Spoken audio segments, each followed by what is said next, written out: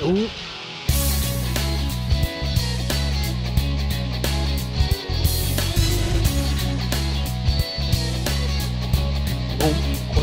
これは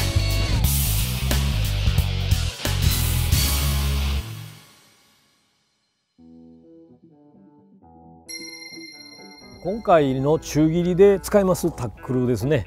えまず竿の方からですけどもセハコスペシャル。ミドルレンジですね。MR、まあ、ちょうど長さ的にここの釣り場ではいいのでね。でもしですね養殖小割の網が隣接している釣り場であればやっぱりその網の下へ大きのなんかになりますとね。逃げ込んで行こうとしたりするんでその場合はロングレンジでもいいかなというふうに思います。でリールの方が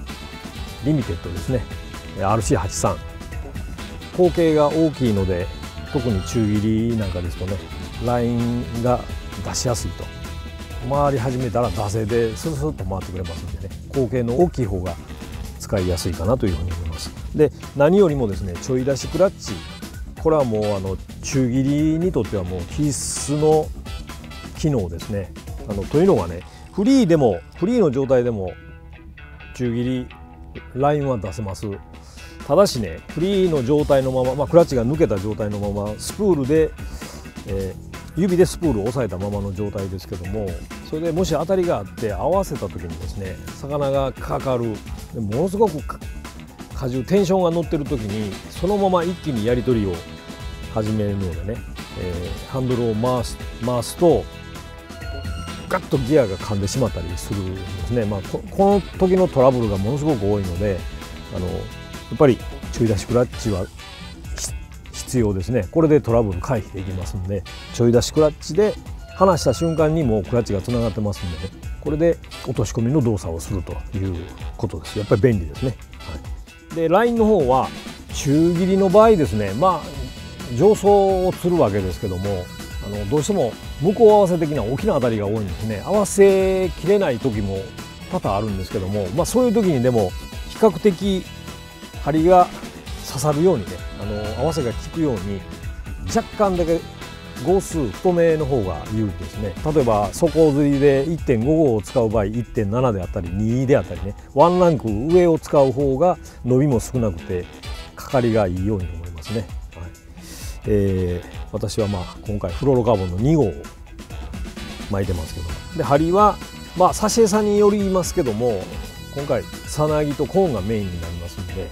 4号ですね。餌を複合させたりあるいはあの房掛けでいくつも刺したりとかいうことになりますんでね、えストレートタイプの4号を結んでます。でひねりとストレートとありますけどもあのやっぱ落とし込んでいく動作ですんでね。あの上げる時回転をね誘発させないようにひねりなしの方がいいですね。ストレートの方が。どうしてもラインがよれてくるとトラブルの元になりますんで。少しねちょっと補足として差を特に調子について説明させていただきたいんですけど今回まあこのもちろん中切り調子を使うわけですけども中切り調子どう違うのかということになるんですけどね、えー、まあこの後そのいろいろバリエーションとしてね団子を途中で切る方法あの解説していきますけども場合によっては自分でですね故意に切っていく時もある。その場合はあのラインをつまんで切る場合もありますしそのまま軽くしゃくってねあの切る場合もあるんですが軽くしゃくる時にやっぱこの、まあ、いわゆるティップですねティップの辺りで団子の重みを乗せた状態からスパッと切りますんでどうしてもこの辺が非常に重要になってくるんですね。でやっぱりこうある程度の張りとそれから腰みたいなのがないとなかなか切れないんでね、えーここで団子を切ってしまうということともう一つはね切った後落とし込んでいく動作ですね。これがまあ例えば風があるとかね揺れるとかいう時にブレてしまうと当たりか何か分からなくなりますのでもこの辺のところもあの非常に重要でブレない。でしかもあの多少の揺れとかもちゃんとあのここで吸収してくれて当たりはちゃんと先端で出るというまあ、そういう特徴がありますんでね。あのこれはなかなかねあの見ただけでは見たりこうただこう単に、まあ、今こうやって私曲げてますけど単に曲げる程度ではわからないですけど実際にその落とし込んでいく動作中切りをやってみればねもうすぐに理解できると思います。それぐらいやっぱりこう特化して作ってもらってますんでね。あの非常に中切り調子あの助かりますね、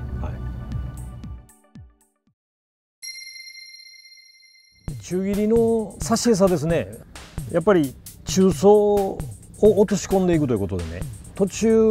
の餌取りに取られにくい餌っていうのがまず大前提になりますね。あの中層にはね結構アジであったりとか年によって小サバが湧いたりとかね、えー、いろんな魚がいます。足の速い餌取りも多いですしね。でそれらがあまり好まない餌ですね。オキアミとかボケなんかですともうひとたまりもありませんので、えー、早い時期はオキアミとかボケでも大丈夫なんですけどもあの正規になってくるとメインは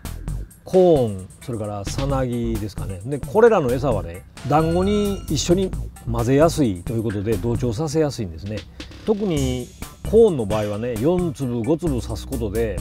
コーン自体の比重もありますしね。負荷が重くかかって落としやすいということになりますね。ただしね時期タイミングですねによってとかあるいは釣り場によってコーンよりもさなぎの方が勝ることも多いんでね。その時はやっぱりさなぎがメインでコーンをいくらか1つ2つ刺すというようなそんな感じですかね。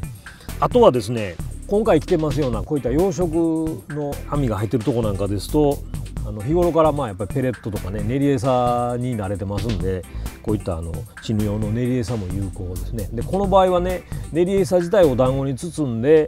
途中で割るという方法もありますけどもあの表面練り餌の表面に団子がついたりとかえー、あるいはちょっとその抜けにくくなったり団子がね、あのー、割れにくくなったりしたりすることもあるんであの僕の場合はむき出しにして上のハリスの部分に団子を握り込むようにしますね。で同じようにボラに割ってもらったりあるいは自分で割ったりしてその後は練り絵の差し餌だけで落とし込んでいくと、まあ、あのやり方としては全く同じです、はいまあ、大体中切りでの差し餌はこの辺ですかね、まあ、このコーンさなぎそれから状況釣り場によったら練りエモというそんな感じです。あの大体私の場合仕事ぐらい同じ差し餌でやってみて、まあ、違う種類に変えてみてということでどれで当たるか、まあ、場合によったらどれでも当たる時もあるしこればっかりということで偏ることもありますんでね。それを見つけ出すためにはやっぱりローテーションしかないと思うんですけども一つだけ注意したいのはやっぱり差し餌のそのバリエーションを変えることによって落ちていき方も若干変わりますしそれから当たりの出方それから合わせのタイミングも変わってきますんでね。あの一本調子ではあげませんのであのその時にしっかり頭の中にこの餌このタイミングということであの頭の中に置いといてもらうということは重要かというふうに思いますね。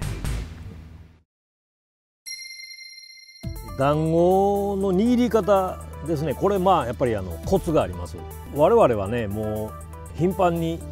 釣りをしますんで、えー、体で覚えてしまってますけども意外にあの皆さんね釣り行かれると次の日に筋肉痛で肘とかねパンパンになって握力がないとか、えー、言われる方あの多いと思うんですけどそういう方は力を入れてるところを間違ってます。であのどこに力を入れるかということなんですがあのやっぱり筋肉痛になる人っていうのは手のひらで圧力をかけようとするんですね。圧力をかけて握るということでなく団子自体を締めてやるという表現ですね。これがぴったりかなというふうに思いますけどあのちょっと実際にやってみますけどね。あのよくはよくあるのはねちょっと団子を掴んででちょっとくぼみをつけて差し餌を乗せる。でまた掴んでこうかぶせてで握っていくと。これね手手のひらいっぱいの状態でね大きいんですよね団子がね。で大きい団子って意外にこう皆さんね早く沈むし途中にボラなんかおったりしてもそのボラの攻撃を回避してくれるというふうにあのイメージしがちなんですがあの全くその逆です。大きい団子というのは締められないですし中層にボラが多い時はね面積広い分やっぱり攻撃されやすいんです。割られやすい。で小さい方が団子自体がこうかわしてしまうというかねあのボラの攻撃をね。だから小さい方がいいんですね。だからかぶせるかぶせる方法でやってしまうとどうしても団子が大きくなるんで私はもうかぶさないようにします。やり方としたらね手手のひらちょっと指を広げてギュッとある程度握ってまいります。ある程度の量をね。この状態でこう開くんでなしに反るように開くんですね。もう一回やりますね。広げてある程度の量を握る。でこの状態からここに割れができますけどもここに差し餌を突っ込んででちょっとこう軽く大きさをね微調整振って微調整してやるんですけどもすっぽりと手のひらに収まる大きさにしてしまうんですね。で12これ全全方向から締めないと開きませんので回していきながら3で力の入れ具合ですけどもぐーっとこう震えるように入れるんでなく最後に指先だけでキュッと締める。キュッとこうこの状態ですね。で包み込んで粉が逃げていかないようにね。12 345数えながら6こうですね。ここにはもう力入れません。この指先だけ第一関節だけです。12131415と、まあ、こういう感じで大きさももうこれぐらいで十分です。ここは水深大体18メーターぐらいありますけどもこれぐらいの大きさで十分そこまで到達してくれますんでね。でもう一つはね私まあ結構パサパサの団子にしてますけども水をたくさん入れる団子というのは握りやすい。当然握りやすいです。ところが意外に逆の発想になってしまうんですが水のたくさん入ってる団子の方が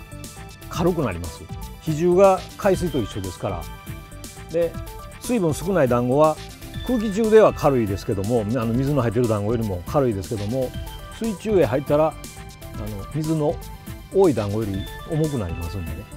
若干なりとも速くなっていきます。でそれは水深が深くなればなるほどその差は如実に現れますんでね。ということで私はまあ比較的パサパサの団子でしっかり指先だけで締めて非常にコンパクトに収めるということですね。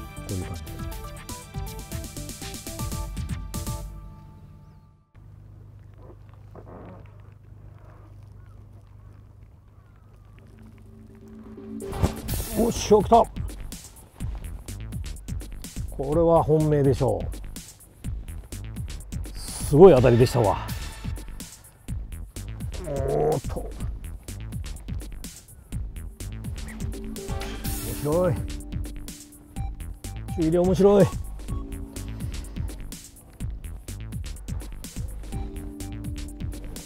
うん。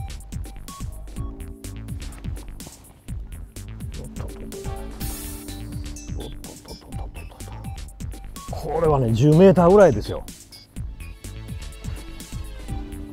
ものすごい上でしたわ。大中やよっしゃ。本命です。コーンいっぱい入ってます。これだけ食ってるということですよ。ね、うん、やりました。やりましたやりました。ちょっと一発お見舞いしときますわ。